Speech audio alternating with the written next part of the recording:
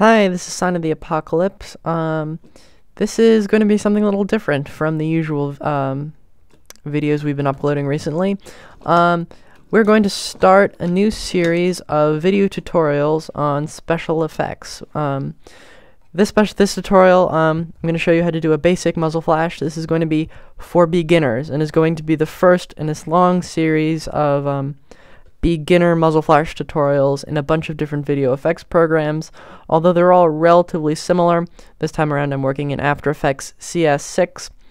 If you don't have it, you can download a demo at the Adobe website or um, purchase it with the Creative Cloud. Um, it's a terrific program, um, but that's beside the point. So, the uh, like I mentioned earlier, this tutorial is going to be for beginners. Um, if you have a little more experience with this sort of thing, I don't think you're going to get as much out of this. Um, but someone who's just starting out and wants to understand the basics, I think they will appreciate this video a lot more and the videos that will follow. After that, we'll be uploading more advanced um, advanced tutorials, um, increasing in difficulty. After the video has been over and you want to try and replicate what I've done in this tutorial yourself, um, we're going to include the same stock footage and images that I used during this tutorial at the end of the video so that you can extract them and use them yourselves. Links um, for some of the footage will be in the description.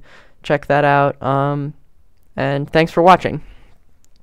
So now to start off, um, I have my clip here of um, it's just of um, it's just of Matt walking uh, it's a it's a pretty lousy clip. Um, we shot it a, a long time ago, but I mean, just a tutorial. So we'll open that up, um, bring it into our um, create a new comp from it. Um, X out of this. So this is our new comp. Um, you need to scrub through it to where the muzzle flash would occur, which is at this frame here. And so there, once we found that point, even though it's sort of hard to tell, this is about where it would be. So then we bring in our muzzle flash element. So um, we notice it's at the beginning of the comp, so I guess we just need to slide it back until we find the frame where it is. So um, this clip is from the Video Copilot Action Essentials pack, but you can easily um, find more pictures like this simply by doing a Google search, um, Google image search, and this will be included at the end of the video. Um, the Video Copilot pack is really, they call it Action Essentials for a good reason. I highly recommend picking it up. It's a must-have for beginners or experts, um, anyone working with video effects and is interested in special effects. Definitely pick up their pa um, pack. There'll be a link in the, the, the description. Um, now, the first thing that you notice is that it's on a black background. And that can be a bit of a difficulty um, because, well, for obvious reasons. But to make the background transparent, you just need to right click, um, go into blending mode, and set it to screen, which removes all the black elements from the image. So there you go. Very nice looking muzzle flash um, in our image. So now we just need to reposition it um, by clicking on the element dragging it to where it would be. If you click a W, you can pull up the rotation controls and uh, sort of rotate it, um, again, um, put in the place where it would be. And this is pretty roughly where the flash would take place. Um, now we notice that um,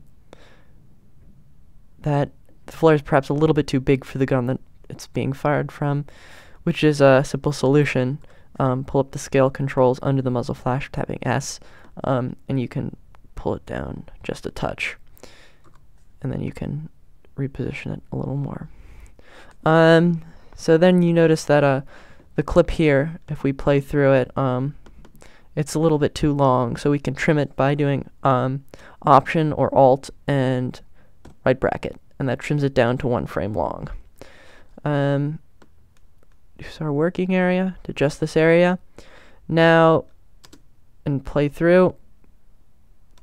Now, alright, that looks good, but the tutorial isn't over. Um, the crucial thing to add to a muzzle flare to make it sell is the smoke, which is arguably the most important part of the muzzle flare, with the exception of the flare itself. Um, I got the a bunch of really nice looking smoky effects um, from detonationfilms.com, which is another excellent resource. This pack was all downloaded on their website for free, cost absolutely nothing. It's a very nice collection of standard definition effects and a great collection of paid high definition effects. Definitely check them out if you're um, sort of in the low budget area and need some very nice quality um, standard definition and high definition effects. Um, links in the description to this pack. Um, so now we just pull out the first one, um, pull it out into our comp, um, pull it back over here, and all the detonation films clips have a 10 frame long um, uh, still at the beginning before the effect actually begins. So we just go through until we reach the first frame and then option left bracket. Then we can just grab it in the timeline, pull it along until it is at the same frame as our flash. And like we did with the flash, just right click, blending modes, and set it to screen. There, um, can just reposition it, move it into place, maybe um, scale it up a little, and play through it. And there, the smoke is subtle, but it really sells the effect. Um, there's one other thing. Such a bright light like this um, would have an environmental impact and actually change the world it was in rather than just being posted on top. And what would happen here is um, the bright light from the flare would actually reflect back on our very talented actor. So the way we would do that is um, to create a lightened version of the background footage and create a mask to only be around the areas that would be affected by the light. Um, do this by um, clicking on our footage, duplicating it, that's a Command D, um, taking the duplicated layer um, and just creating a mask. So this is going to be very rough, just roughly around the area that would be affected by the flare. And now once we've masked that, um, can set the blending mode of this one to add or screen depending on the situation, but this is broad daylight, so add might work better. And um, it's restricted to just this area, so, but before we do anything to that, um, can press F to pull up the feathering controls and just feather the crap out of this mask. And then we use option uh, right uh, left bumper and option right bumper to make it only a frame long. This is um, the effect with and without the glow, and you can see how it really enhances the image, um, if only for just a second, uh, or a frame. Now just playing through, this is the effect. So, our final effect, and even though he's shooting twice a second time, I've just animated the first flare here. Um, if you have any questions, um, feel free to email us, sineoftheapocalypse at gmail.com. Check out the description for all the free effects.